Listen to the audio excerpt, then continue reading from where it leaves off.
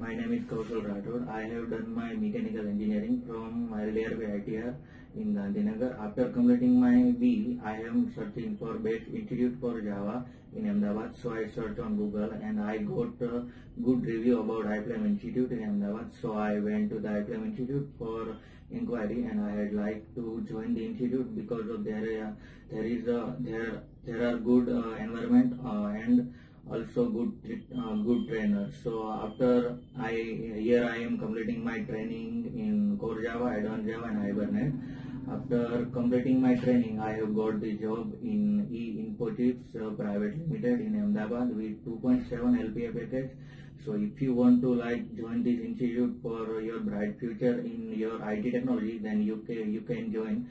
And I have here I am completing my training and as, as well as uh, got the placement also.